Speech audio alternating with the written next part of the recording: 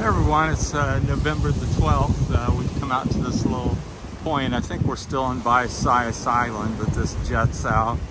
It's fairly windy, so I don't know how the wind noise is coming in. But yeah, this is kind of my dream lifestyle where I'd have a house up on the thick, you know, thick of the mountain and uh, come down here at night and mornings and watch the sunsets and rises and stargaze. So I'm strongly considering uh, relocating to something like this as soon as I can get more assistance and information.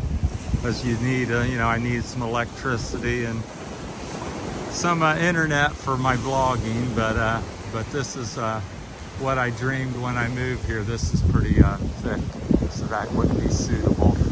I'm not sure what's on the other side, but there's a lot of a Looks like a variety of bamboo, I'll call it. But just beautiful. This is the uh, kind of northern side of the island, so it's very windy, and uh, so you'll probably be getting some uh, wind gust here. So I just wanted to share. It's the first time I've ever been here, but there's 7,600 and some islands here in the Philippines, and uh, all kinds of different ones, and this is uh, just very common so. But uh, and it's much more beautiful in person. So it's a sandy rocky beach uh, lots of uh, the white particles of coral and seashells has gotten broken up by the surf. So it's Sunday. I think it's about two or three o'clock in the afternoon I believe maybe one. But uh, just fabulous.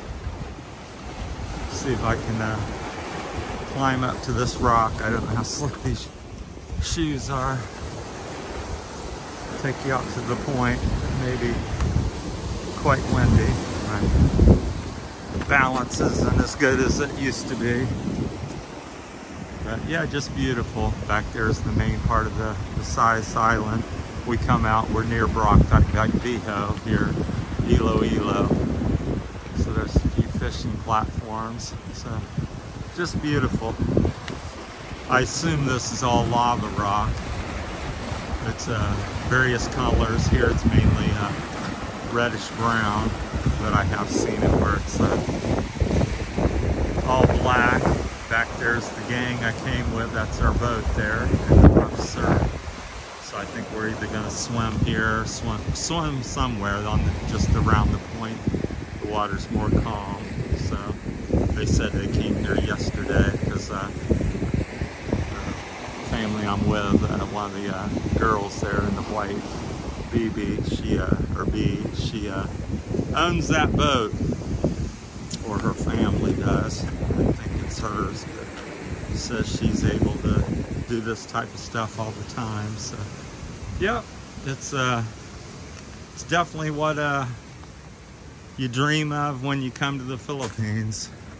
I mean, there's other places where the water's more clear. Like I said, this is the rough surf, so it churns up the water and makes it a little bit more dirty, but uh, it's still nice. And there's all kinds of things in the Philippines where you have some almost white sand to brown sand, all kinds of different islands and stuff. So this is pretty cool. A lot of uh, native trees. Like I said, I believe that's a variety of bamboo, but somebody can correct me if I'm wrong.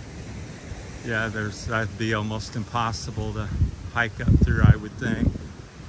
But somebody might have a trail up there. It's hard to see. It's so thick down here on the edge. But I think the money shot is like these uh, I'll in here. So that's a little point there.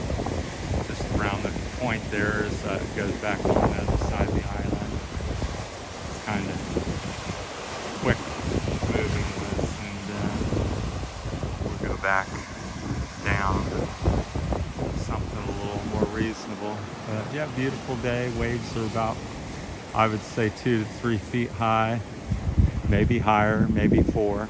So minimum of two to maybe high as four. So we're gonna eat some uh, different things. I guess they brought some rice, no surprise, and we got some uh, bread and peanut butter and uh, some drinks. We all chipped in about, uh, I think, uh, three bucks a piece for gas and food. So pretty reasonable day. So you get to come to this island and hang out with some people and uh, cost you three dollars. Where can you do that? In America, this would probably be a 25 50 dollar little outing. So pretty wonderful. So it just amazes me when I think of things like that. As be there, so just really nice. As everybody. So I don't, I can't remember everybody's name here. I, I know who they are, I just can't remember their names. So hopefully, like I said, apologize that the wind is really making the audio not so great, but uh, I haven't really figured out a way to hold it or get away from that. So but I'm not gonna make you suffer 10, 15 minutes. So we'll get back here to the group so they're all in the shade. That's a strange thing here in the Philippines is people, uh, the locals just uh, really uh, can't take the sun or don't like the sun so much. But me, I'm like, I don't want to get out of it. It's wonderful. So yeah, they got a little fire. We'll walk over here and look at everybody. So, but yeah, beautiful late afternoon or, uh, mid-afternoon here Sunday, November the 12th, and we're out here swimming and 80, 85 degrees. So, hey, hey, hey, you want to say your names?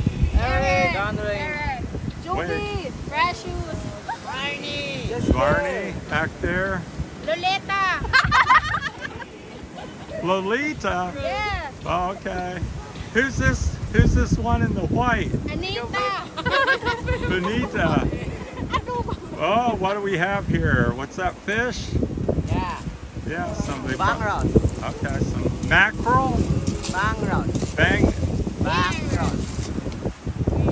I give a fish. It's a milkfish. Mil oh, I know milkfish. Yeah, Yeah, I eat that in America. So they're fixing some fish. So yeah, there's some the crew that came with us. So all right, well that's it from Terry's Philippine journey. And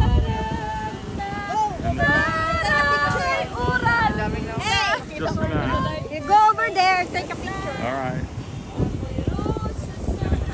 All right, that's it from Terry's Philippine journey. Thanks for watching.